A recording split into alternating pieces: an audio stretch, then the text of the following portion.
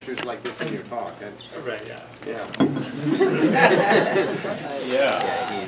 Okay, so I'm very pleased to introduce Alejandro Rico Guevara, also known as Alejo. So Alejo did his undergraduate degree at the Universidad Nacional de Colombia in Bogota, and then he decided he wanted to try out the winter phenomenon, so he moved to Connecticut, University of Connecticut, where he did his PhD with Margaret Rubega.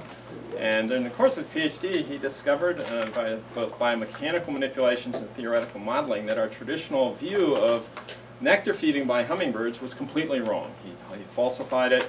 He showed it's actually not an inelastic sort of pressure differential kind of system, but rather a peristaltic and highly flexible pump. So it's totally revolutionized our idea about nectar feeding in birds. He's been here now as a Miller Fellow for about a year and a half, and he's working on the integration of feeding and respiration, whereby hummingbirds have to have very high tongue licking and swallowing frequencies, but simultaneously have to meet the very high metabolic demands of flight. So it's like drinking a latte while running full speed on a treadmill. It's really hard. You should try it. So, uh, and a tremendous background in comparative biology of birds, and of course the most interesting um, birds, actually the most interesting vertebrates would be the hummingbirds, I would guess. And uh, there are only about 325 species, a few people in the MVZ work on them, so it's, it's really worked on the fascinating questions now, intersection of natural selection and sexual selection, which is the topic of this talk today. The broader title is Nectarivory Energetics and Intrasexually Selected Weapons, but uh, more importantly, the fun fact about Alejo, and I didn't actually know this about three minutes ago, the largest bird I've ever caught on a mist net was an emu. I don't even want to speculate. Uh, unintentionally, of course, such a fierce dinosaur. Without further ado. All right. Well, thank you so much for being here. Um, I'm going to be talking about nectarivory and weapons. So then let's start by, you know, like framing it into surviving and reproducing. And I'm going to be talking about feeding in the surviving side and same-sex competition for reproduction. So this is the talk structure. Uh, first part is about feeding, including performance. And the second part is about the trade-off that I'm proposing with these uh, newly discovered weapons and a broader concept of intrasexual selection weapons in animals in general. So I wanna I don't wanna continue with before acknowledging all my funding sources, all the wonderful places I, visited to do this work in many different museums, and uh, of course this has taken a long time to work with uh, these species, uh, in, both in the field and in, in surveying museums. And um, I wouldn't have been able to do all of these without the help of many, many people, including all my mentors, collaborators, and uh, field assistants. Also, you have see you, you see some familiar names uh, here.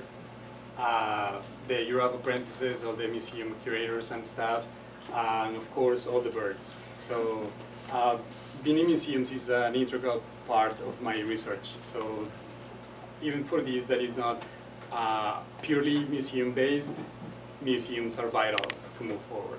So uh, let's start with the nectar intake biophysics then. This is a survey I've done uh, across birds, and it's amazing that nectar feeding has evolved 23 times. Uh, we have some crazy ones like sandpipers, and some very interesting ones like parrots that I have videos from if you're interested in these particular cases. of course, including the amazing uh, songbirds and honey eaters in passerines. But today I won't have time to talk about those. I'm going to focus on hummingbirds. And if you think about what hummingbirds are, everything revolves around feeding on nectar. So everything from their daily struggle to the coevolution with the flowers they feed from is uh, about nectar.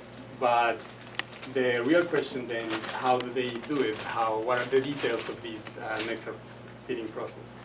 And the way I approached this was to looking at particular species and trying to see what flowers they uh, feed from and replicating the flowers uh, in this case, this heliconia, you have a curved flower inside with the nectar on the bottom.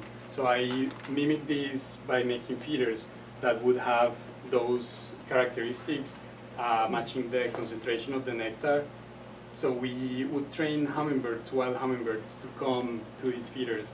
And we film them with high-speed cameras to slow down and study every step of the process.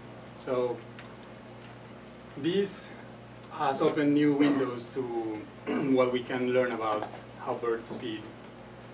And I'm gonna uh, split these, and first we need to talk about morphology.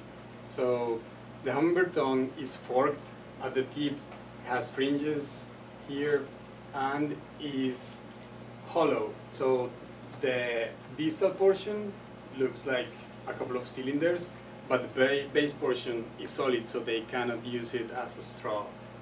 Um, they can only control the base of the tongue, so when they move it, you see that the rest of the tongue is just uh, laying there floppy. Uh, so that's very interesting because they don't have any muscular control over what happens to the tongue. um, I explored the morphology further with CT scans. This weird dragon is actually a hummingbird beak. and when you go through, you can start uh, seeing the three-dimensional configuration. And here I'm gonna overlay some techniques to explain further.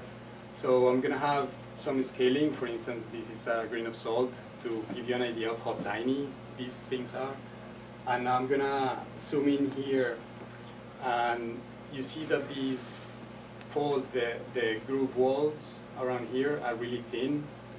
And if you see, if you look into the composition of these groove walls of the, of the tongue, then you see a keratinized band. And this is going to be very important because when you look at the composition, the architectural composition of this tissue, you see a very interesting brick wall arrangement. So these structures are going to give uh, pretty cool properties to the tongue. And if you push that electron microscopy really hard, you can get to the composition of it, which is beta keratin. So the same material that the, feather, the feathers are made of. And uh, different from alpha keratin, beta keratin is very good at folding, but storing energy to recover the original shape. so um, these structures that are easy to fold are going to be important for this process that we call fluid trapping. So we have the grooves, and then we're going to look at those grooves from the inside of the flower.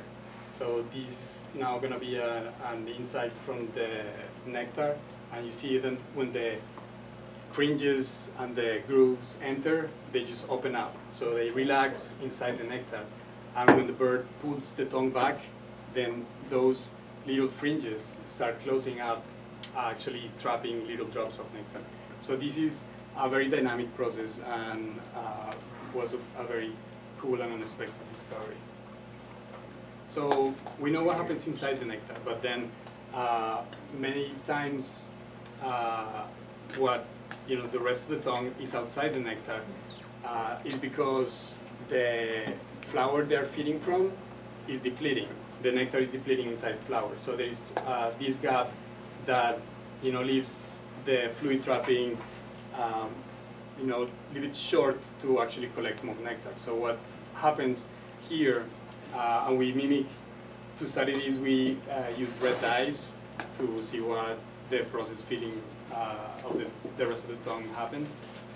Was that when they when they are crossing this gap, they, uh, as soon as the tongue is going out, they compress it, and then they release that compression when the tongue is full with nectar. And this is operating an elastic pump. So how this elastic pump works? In the morphology, we saw that these really thin grooves are foldable, but because of the architecture and the composition of them, that makes them non-stretchable. So when you have a structure in nature that is easy to fold, but then tend to recover the shape, is great for elastic potential energy. So this is gonna give it that pumping force that the tongue needs. And here, uh, this is the same um, setup that I showed you before, but this is zoomed in. So this is the bill tip and the nectar is here. So I'm just gonna play this video. And I'm gonna show you how then the potential energy is released when, only when the tongue tip touches the nectar. So, um, that should go. Okay, so I'm just freezing the image at 12 milliseconds, so you know, so you can see how compressed this structure is, how flattened it is, and then when I keep playing,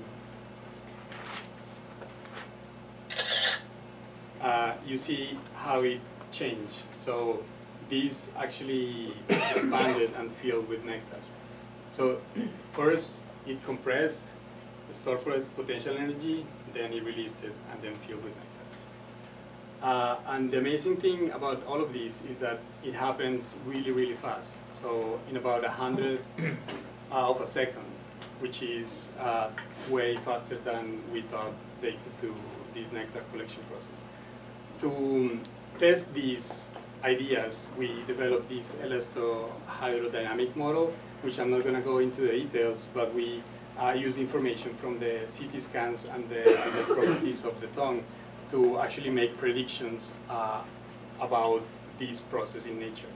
So this graph shows the filling time, so how long it takes for uh, a given amount of nectar to fill completely the grooves here. So here the, the grooves are filled with nectar, and this is the length of those grooves. So in uh, this diagram would be x here. So x-axis, it would be this. And we can play with that model, make predictions for different species, uh, including you know different uh, tongue lengths, etc. And this is where uh, it gets interesting because a competing group was working on the on figuring out how hummingbirds drank, and they put hummingbirds under uh, artificial conditions in the lab, and they actually demonstrated that they drink using capillarity. So this is their data, which is really different from our predictions. So um, what we did was try to mimic flowers the way we've been doing for a bunch of different species, and instead of having them in the lab, we would uh, put them, have them uh, in so wild birds would drink from them, and we can match to see if it would look like this or it would uh, be capillarity. And what we found was this match to our predictions, which our engineering collaborator wasn't too happy with, but for us it was pretty amazing. And uh, what happens is that as they demonstrated, capillarity is physically plausible, but it's not biologically relevant. And the reason is because if you take, let's say, uh, a length of six millimeters, a short beak hummingbird, then you would predict that by capillarity it would take this long to fill with nectar. And this uh, would allow you to move the tongue six times a second to get uh, nectar out of the flower. But what um, you can do is go down and calculate how many times a second can a hummingbird uh, move the tongue to actually fill it with nectar and see if that matches what they do. And what uh, this means is that capillarity is really slow and elastic pumping is super fast. And this matches what we found in uh, like wildflower videos uh, and previous publications at feeders. So the conclusion of this part is that capillarity is too slow to keep up with the filling rates uh, and the, how fast they move their tongue in nature. Okay, so now we solve the tongue issue. Uh, just so you know that that group never published anything again after that paper. Maybe they're working on it, I don't know. Um, okay, so now the, the bill tip is uh, very interesting as well because the, the edges of the beak get thinner as uh, when they get near the, the tip of the beak. And what this uh, happens is that it makes a positive match with the tongue shape. So the tongue is being uh, extruded here, uh, matching this concave and flexible in inner shape of the beak. And this is uh, close-up of the of that process of the of the beak actually squeezing, and you can see that it's really tight how they do it. So this friction is high, so this has has to be pretty uh, soft to avoid damaging the tongue tissues. Okay, so the, the tongue, the tip of the bill is a ringer, and now uh, we can summarize that through natural selection, this big shape uh, is like this. It's flexible, it's concave, it has blunt tips, and all of this is to give a good seal of the, of the tip. So now that the nectar is released, then uh, how do you actually swallow it? And to study this, we placed markers, virtual markers on the on the beak, and I'm showing you here uh, the tracing of the yellow markers at the base of the beak, and the same for the tip. And you can see that this is a really weird asynchronous oscillation. So this is not what you would expect if you imagine uh, how bird open its beak. And this is going to be very important for the, for the feeding process. So to translate this into actual uh, performance of the bird, then I want, I want I need to point out that the hummingbird tongue at the base has these little flaps, which we call tongue wings, and that the base of the tongue is tracking the tip at all times. So we, with this uh, information, we can reconstruct the motion of the tongue inside the beak using uh, couple synchronized high-speed videos. And through backlit filming, we can actually see inside the beak.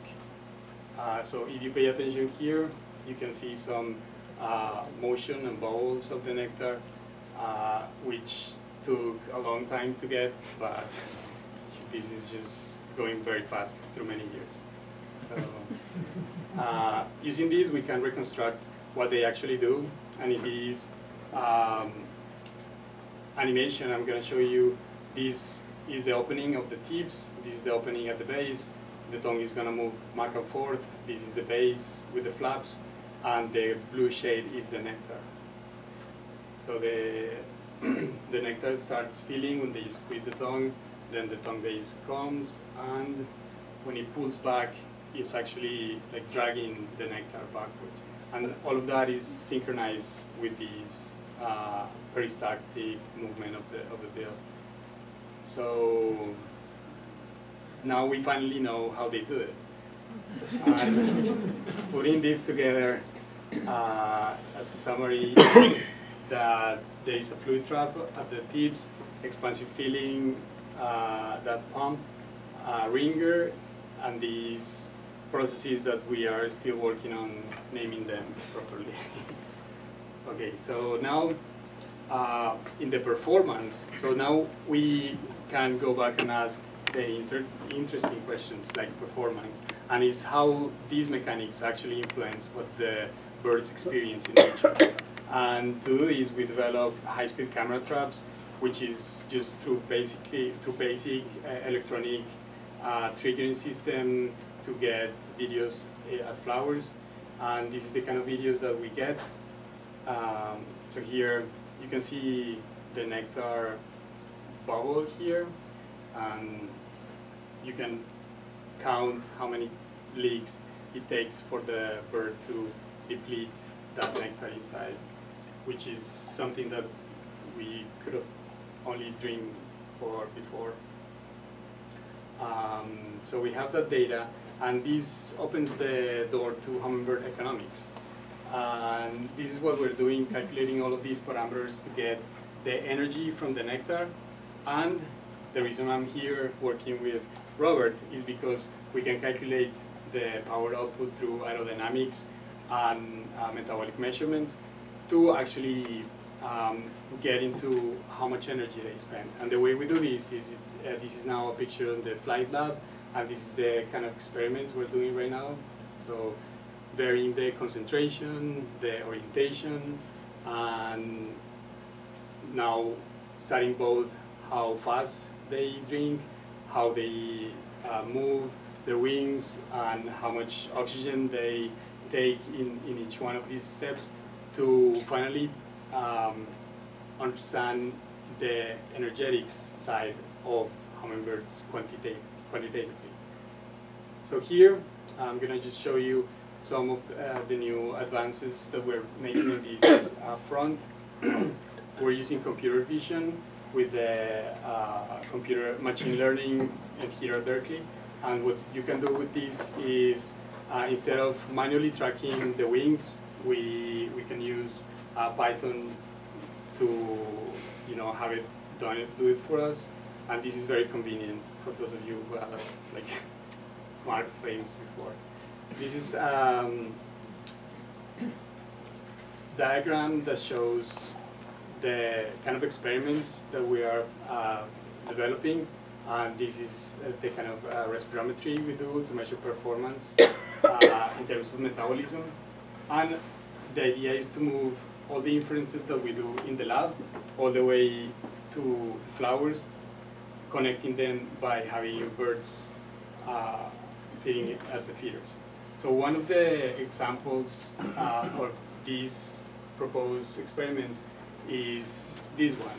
So this is in Colombia, and we have wild birds just coming. Here is uh, uh, RFID, so it can read the P tags that we put in birds. This is a perch uh, that when they come, the, you know, you can, we can get the information about their weight, we can get uh, the information of how fast they drink. If we take the perch off, then we get the information about how, uh, how they hover, etc. And you get extra information, uh, which is interactions. So the, because this is open, they love to fight. And they, you know, when one is in the feeder for too long, then another one is not gonna be happy with that. And what they do is just get on top of each other all the time.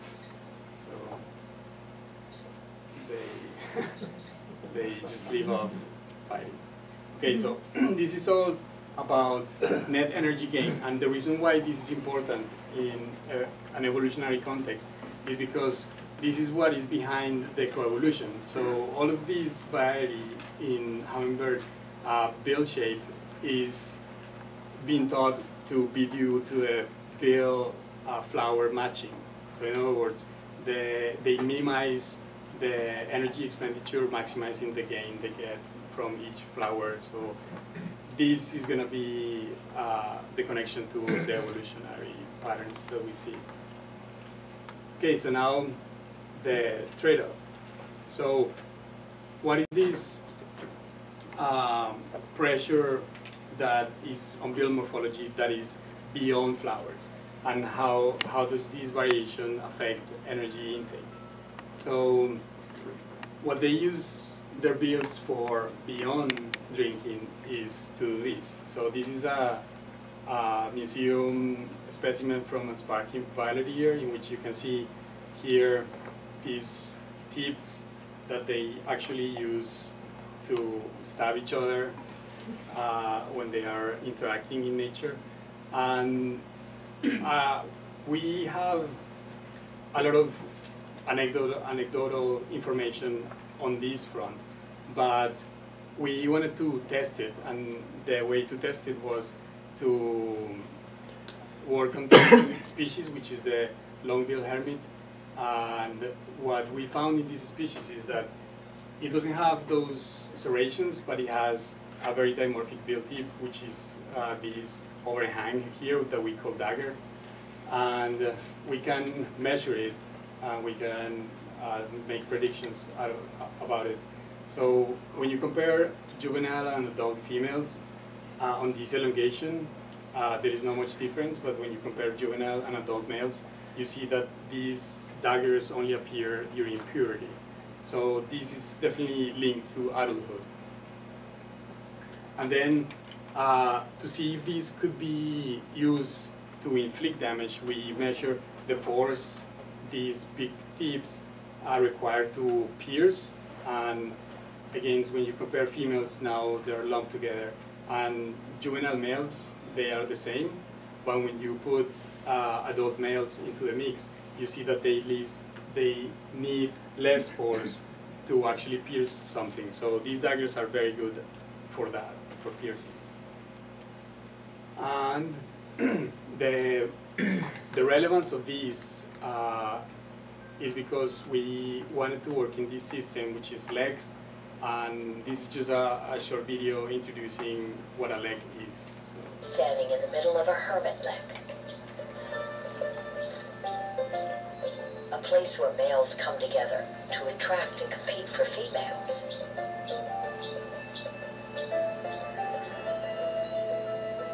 This lek is a stage for nine or ten singers. And as small as they are, their voices carry across an arena of some 300 by 450 feet. I recommend this documentary. They feature different aspects of our research. So. Um, so this uh, category that we have here, floaters, is the ones that are outside, they stay outside that circle of those territorial males. So these are birds that for one reason or another, they are outside and cannot get uh, into those territories. So the reason why all the males want a territory is because this is like a singles bar. And if you don't have a seat in that single bar, then you're low in, uh, you know, like dominance hierarchy, and that's not what females are looking for. So they fight really hard to get uh, a seat there. And when you compare the actual territorial males, so the ones that are able to uh, fight and win a territory, you, you see that they have much longer uh, daggers. So they do have daggers, but are smaller than the ones that are actually holding territories. So this is an indirect measure of how these could be linked to mating success. And uh, the same with uh, other measurements that we took, like pointiness, uh, and uh, uh, the modified bill tips that we found uh, in, in, in this species is true for different species of hermits. And others, it means that other species, for instance, this is a clade that topazes have normal wing tips, uh, big tips. So the normal ringer is, as I described, for uh, squeezing the tongue really well and is efficient for drinking. But this is not, right? So this is what, you know, one of those extreme modifications uh, of only males in only few species of hummingbirds happens, and I still don't understand how this hummingbird is, you know, alive so right now we're um, trying to get to the genetic basis of this dimorphism uh, with Nicholas and Noah. So this is going to be a pretty exciting uh, aspect of uh, the research. And we're collecting videos of how they use their bills to fight. So this is one of those, uh, I have plenty if you want to see more. Uh, these these uh, birds try to stab each other. So if you see here, this one is going to try to stab the chest, but this is going to outsmart that move.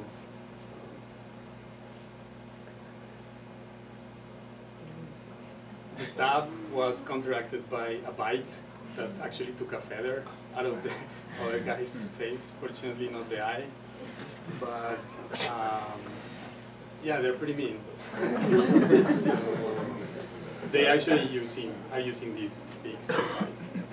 Uh, so the interesting trade-off that I'm proposing here is between uh, natural selection, making the bill tips one way for optimal fitting, and sexual selection, making stiff beaks, conical bill tips, uh, sharp daggers that what cause is this gap between the tips that is not good for So this is uh, what you see at a you know broader scale. Uh, the message then is that we should start you know looking them more as like little aerial fences than let's say Tinkerbell. uh, this is uh, Jimmy and um, Robert and other people's uh, topology that now I'm working on to actually plot these traits. And you can see these backward serrations have evolved uh, here in black uh, many different times uh, in hummingbirds. So the reason is, is the question is why are what are the conditions that are promoting these uh, weapons? Because not all of the, I mean most of the species don't have them actually. So that's interesting. And by doing this, then I move to, uh, are there other examples in birds uh, of these weapons? And most of them, the, most of birds have weapons in the form of spurs. These spurs, uh, this bird, I got too close to his nest, and he was like diving at me. But when I saw this, I decided to leave. he was getting really close. So they have wing spurs, they have uh, tarsal spurs, and but I, I, I wanted to find uh, a paper that had looked into this, and I couldn't find anything. And when I looked into weapons in animals in general, then uh, I found that there were many gaps, and I decided to fill them. So uh, now this is the intrasexually selected weapons, the last part of the talk. And what I call intrasexually selected weapons are traits that are dimorphic, that are present in only males or females, and that has, have to be used as weapons during these confrontations. So these questions that are driving uh, this survey is which organisms have these kind of weapons, uh, which are they, and what are the morphological and evolutionary trends uh, in nature. So we did a pretty exhaustive live, you know, tree of life survey, which took forever, but it's finally out. And what uh, we don't include is these exaggerated traits that were included in previous reviews. So we we don't include traits that we don't know what they were actually be using uh, for. And uh, these traits that they have no reports of uh, use as weapons in same-sex uh, competition or uh, in general like intraspecific competition. So out of these fish, the only one that classifies under our conditions is the kype in salmon here. Uh, similar things with other traits that were included in, in previous uh, reviews, which actually were pretty inspirational, and I'm working with Doug right now in, into uh, solving these. But for instance, uh, in uh, some of these traits are used in courtship or assessment, but never as actual weapons to fight with. Uh, I included, we included birds, uh, amphibians, fish uh, that were that haven't been included so far in these reviews, uh, which is uh, tons of animals, and we found that in general, if you look at the bilaterian tree, they are only found in three of these main phyla. do you want to give it a shot? Which ones?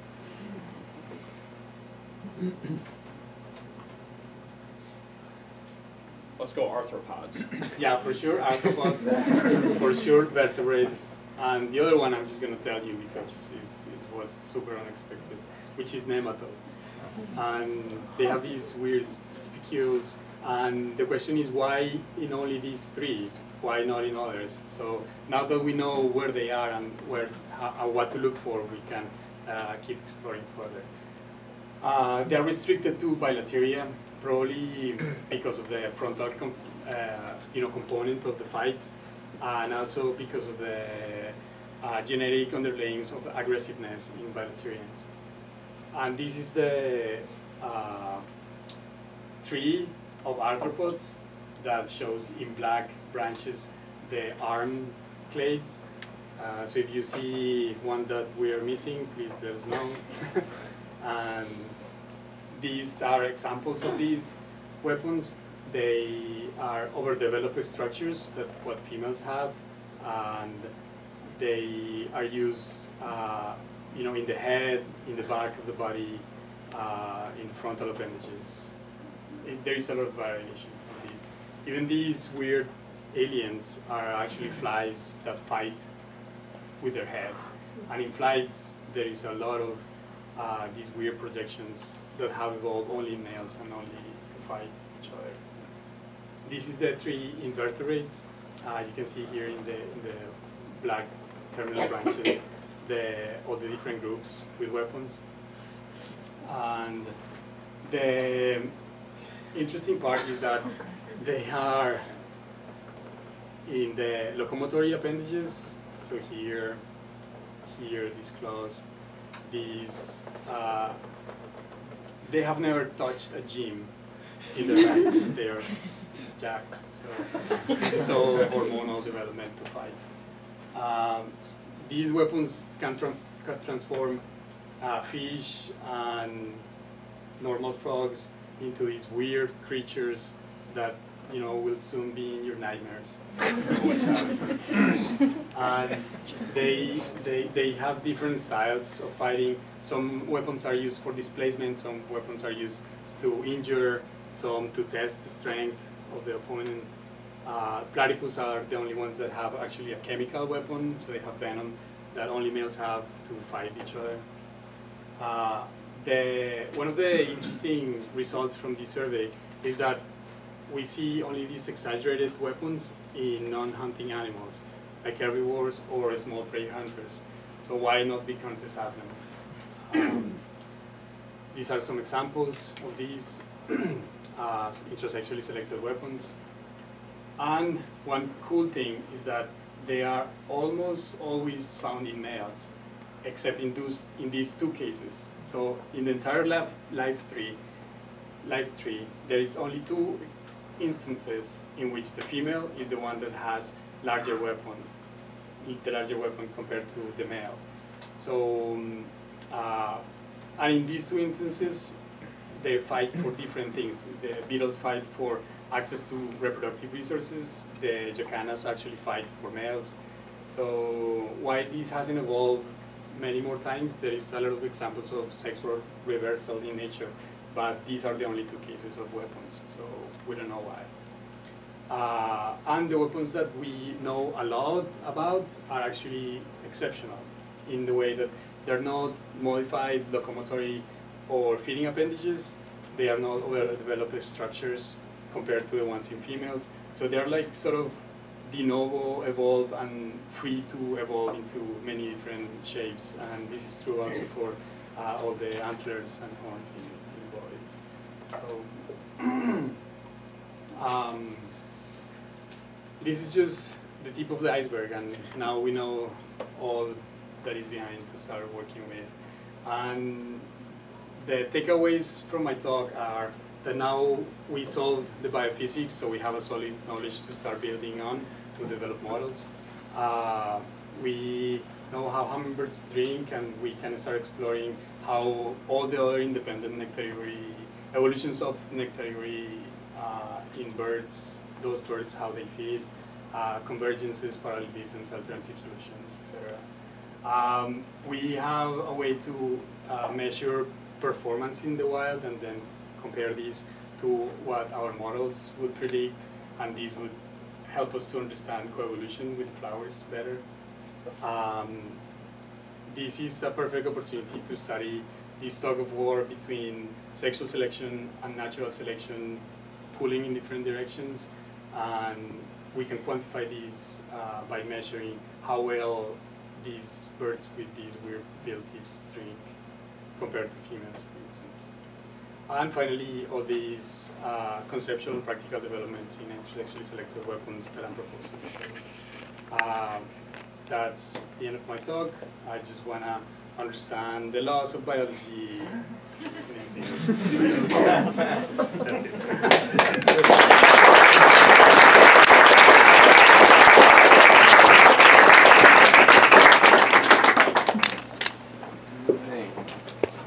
We have lots of time uh, for questions. Sorry, yeah, I rushed, but I wanted to have more discussion. What about when uh, like, the hermits that have like a decurved bill? How does like sort of the curvature of the bill influence the action of the hummingbird? Um, okay, so the curvature, what it does is allows you to get closer to the nectar pool in cord flowers, but it's actually detrimental in straight flowers. So that's why this matching occurs. Uh, the actual intraoral transport is hindered to some degree because you cannot have that nice peristaltic pump. So for instance, Eutoxeres, which is the sicklebill hummingbird, they have really wide uh, wing, tongue wings, which are these flaps at the bottom. And I think that's because they cannot do anything but just dragging the nectar every time. So they're not doing the peristalsis, but they're uh, just dragging with the base of the tongue. So it, it, it has a large impact. And it, has, is, it also has a large impact in the way they fight, for instance. They, the, the videos of hermits that we have fighting, they don't go straight at the other like this, like impaling, but they actually flying in a, in a curved angle to hit, you know, like this. So, hmm. yeah, there, there is a lot to explore in that. And of course. Keep going. And I, no, I was just gonna say that, of course, that there is a pretty good opportunity to um, understand if this dimorphism in bill curvature is due to ecological causation, which is the current uh, idea, which is they feed on different flowers, so they have different bill curvatures. But what could be happening is that the males uh, have straighter bills because that's easier to transmit the force, and that's what's driving this. So if you do like a full phylogeny comparison, then you would find if this trend is uh, biased, and that would give you a sense. Oh, So, um, have you ever had other birds that are also nectarivores show up at your feeding stations, so, and maybe give you a little bit of insight into how they're also performing nectar Um, feeding? Is it similar or completely different? I, I wish, but unfortunately not to, to these ones. But because they haven't showed up, I've been chasing them. I've been, you know, like designing feeders just for particular instances. Of, uh, for instance, diglossus, they have pretty cool uh, and completely different feeding strategy because they have to feed with the with the beak open, so they cannot squeeze it ever. So flower piercers are these birds, and what they do is they, they hold the base of the flower with uh, the mandible, and they pierce with the maxilla, and then through that hole they stick the tongue out. So they need to retrieve the, the nectar somehow, and because they can't squeeze it, what they do is actually use the base of the tongue as a bellows, and uh, they just pump uh, the nectar in out, like leaving that hose uh, touching the nectar until they deplete it. So it's, it's pretty cool. And yeah, so there are many other instances that I would love to show you videos at some point. Do you know how age plays into the development of the weapon? That's that's a great question, and and the that's another advantage of placing the P tags in these birds. Uh, we are planning to track them year after year to see how the beak changes. Um, for the hermit system that we have that we tracked for five years, uh, there is this first burst of development development the first year, but then after that first year, it sort of stays uh, the same. Sometimes uh, what they, what happens is that they break the big the, the tip, or like parts of the bill, and we think that happens because of the fighting. uh, but they are able to recover. Uh, so one year we found one with a broken tip, and then you know we, we caught it next year. So that year that had the broken tip wasn't able to hold the territory, but then next year was fully recovered and then was holding a territory. So it, it plays a, a big role, at least for the first year, and then after that we're still trying to understand. Sure. Uh, so in uh, artiodactyls, there's work done uh, a, a while ago, more theoretical papers by Valerius Geist, uh, speculating that um, in these animals, the headgear, the weapons that are on top of the head, evolved to actually reduce injury uh, during male-male competition. Do you have any insight into how prevalent that might be across uh, this whole big scope of life? Um, yeah, so um, the only instances of living animals that have aerial confrontations besides hummingbirds are hornbills, and there is only one species that does it, and they actually go and clash like in midair. But the casque in these birds is completely different from the other species that have casques. So uh, if you compare the series of artiodactyls that may have these structures, um, then you see changes in density, in you know tissue composition, then that could give you a clue, a clue to you know comparing with these hornbills that what, what what is used for display, what is used for actual you know head body. If I can just follow up Yeah. on that, there's a very interesting case of the, the bighorn sheep and, and the mountain goat.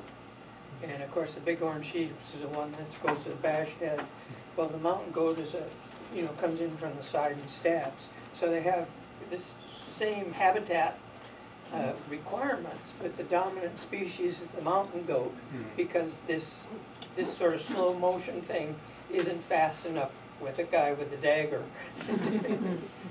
So even though the mountain, the bighorn sheep is typically larger in body size and so on, uh, if, if you go where fo- both occur, if, uh, if the, uh, if the goats want a particular piece of habitat, they grab that, and the bighorns have to go find the next best. And that's the way they sort of shift around. Yeah, and, and that's pretty cool because then that makes you think of, okay, you have a weapon that evolved for one purpose, but you can use it for any other purpose. And this uh, is evident in hummingbirds because the species with weapons are dominant over the unarmed species. So maybe one weapon that evolved for intrasexual competition then now is using interspecific dominance. So, So hummingbirds also eat, uh, incorporate a lot of insects in their diet, and there Yeah. seems to be a bunch of variation among species. Um, I guess they also, they also do a lot of nectar robbing behavior like Diglossi, uh, Diglossa. So do some of these, like tooth-billed hummingbirds, show shifts in diet or behavioral? so um, Yeah, that, that is a good question. That was the first hypothesis that was uh, out there for the existence of these kind of dimorphism. And I did my undergrad thesis with arthropod hunting strategies in hummingbirds. And what I found is that the females are actually the ones that are hunting for spiders and things like uh, substrate-based prey, which these would be useful for. And males are doing fly catching, right, so from a perch. Uh, so these big tips are showing the opposite trend that what you would expect just based on arthropod hunting. So I, I think they, they could use them, right? But I don't think that matches the data that is available for why they happen. I'm curious uh, if you've been able to show whether or not there's an actual cost in feeding mechanics from these or if they have some other additional phenotypic changes that offset that. Yeah, um, so we don't have the stats yet. we have the data and we are like processing because we want to be very careful controlling for many different factors. Of course, yeah, I want to say yes because that's what the preliminary shows, but we want to control for uh, the distance between the bill tip and the nectar. We want to control for um, like how far can they push compared to the females. You know, like there, there are different uh, aspects that you need to control for. we're doing that right now. You, you made a, um, a, a big deal out of the fact that the weapons are only seen in three phyla. And I, I just kept wondering, well, you know, ha- have people really looked carefully in tardigrades or rotifers or weapons? or is Yeah, no, no, no, that's, that's a pretty fair question. Yeah. But, but I think, I don't think people have looked especially hard enough in nematodes. Uh-huh. But still, you know, like those papers are out there. So I think there is a lot of surprises. Uh, but I think the dimorphisms that you find are not like hinting to the existence of weapons. So I, I have uh, another data sheet with all the potential weapons, and you know the ones that have dimorphisms but not behavioral component because that's the hardest, I guess, to have evidence for the use. Uh, and yeah, many of these phyla are just not that dimorphic in the way that would suggest a weapon, which is puzzling. And I think, I hope many more phyla have them because that would give different points of comparison. But we will just need to keep looking harder. All right, let's thank Alejo for a spectacular